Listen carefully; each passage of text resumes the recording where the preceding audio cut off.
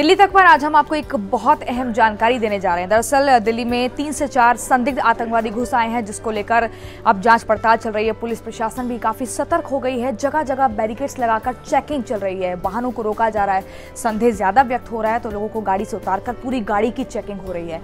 और ऐसे में जो भीड़ भाड़ वाले इलाके हैं, जिसमें अक्षरधाम हो गया, कनॉट प्लेस हो गया, रेलवे स्टेशन हो गए, मेट्रो स्टेशन हो गई, यहाँ पर काफ़ी सतर्कता बरती जा रही है। डॉग स्क्वाड्स की पूरी टीम एक जगह दिख रही है उसकी मुस्तैदी और जगह जगह जहाँ पर ठेली वाले पूरा बैठे हुए हैं, मार्केट लगाकर। वहाँ पर भी चेकिंग चल रही है, ताकि किसी भी तरह से कहीं चूक ना हो। तो ये जानकारी कोई हवा में ही नहीं मिली है, बल्कि एक कैटेगरी की इनपुट एजेंसीज द्वारा ये जानकारी मिली है, और ऐसे में जरा सी चूक भारी पड़ सकती है। सतर्कता काफ़ी ज़्यादा बढ़ती जा रही है, और साथ ही जो वीवीआईपी एरिया है दिल्ली का, वहाँ पर सुरक्षा और ज़्यादा बढ़ा दी है, क्योंकि ज़रा सी चूक कहीं पर भी एक बड़े हमले को न्यौता दे सकती है। तो अब जिस तरह से पूरी तैयारी पुलिस प्रशासन की दिख रही है जगह जगह संख्या पुलिस की बढ़ा दी गई है, क्या क्या वो काफ़ी होगी या नहीं? और कौन से वो इलाके हैं दिल्ली के जो सबसे ज़्यादा खतरे के भीतर है? अब वो आपको दिखाते हैं। तो एक बार आपको वो जगह बता देते हैं जहाँ सबसे ज़्यादा भीड़ रहती है और वहाँ पर आपको अलर्ट रहना बहुत ज़रूरी है, जिसमें चांदनी चौक की मार्केट हो गई, कनॉट प्लेस की मार्केट हो गई कमला नगर हो गया, सरोजनी नगर हो गया, खान मार्केट हो गई, लाल क्वार्टर मार्केट हो गई। इसके अलावा शाहदरा में छोटे बाज़ार की मार्केट हो गई, क्योंकि ये जो मार्केट है, यहाँ पर चहलकदमी ज़बरदस्त होती है। रेलवे स्टेशन हो गया, मेट्रो स्टेशन हो गया, और स्कूल कॉलेजेस के बाहर भी अलर्ट रहना बहुत ज़रूरी है।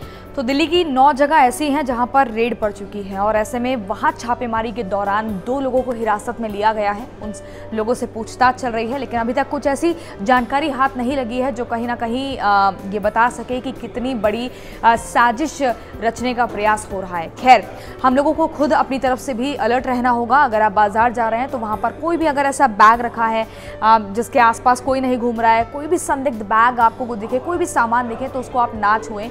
मार्केट में अगर अगर जा रहे हैं तो बहुत ही आसपास का ख्याल रखते हुए आगे बढ़ें और साथ ही अपने बच्चों को भी बताएँ कि अलर्ट रहना बहुत ज़रूरी है। अगर बच्चे स्कूल बस से घर जा रहे हैं तो स्कूल बस में ठीक तरीके से वो बैठें। तो ऐसे में छोटी छोटी चीज़ें हैं जिनका ध्यान रखना बहुत ज़रूरी है, क्योंकि ये जो जानकारी मिली है, जो इनपुट मिला है, वाकई परेशान करने वाला है। एक बड़ी परेशानी का सबब तो है ही पुलिस प्रशासन, जो अपनी तरफ़ से कर रही है, वो हो रहा है। लेकिन ज़रूरी है हम सबकी मुस्तैदी।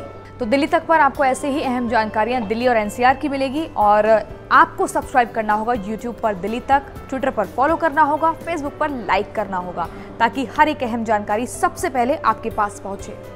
उनतीस सितंबर से 9 अक्टूबर तक देखिए विश्व की सबसे बड़ी रामलीला। लव कुश रामलीला सिर्फ़ और सिर्फ़ दिल्ली तक पर।